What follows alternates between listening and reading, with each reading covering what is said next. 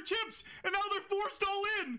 We're just gonna jam 40 big blinds because they have a $400 bounty, and this guy's got a $400 bounty. He has to call as well because he has this guy covered. We are going after $800 in bounties right now. This guy can call pretty wide too. This is the hand of the game. Ace 10 suited is a monster here. I can't see how this guy folds. Hold. We need a spade. Hit, hit, hit, please. No boat, no boat. $800 in bounties! $800 in bounties! Come on!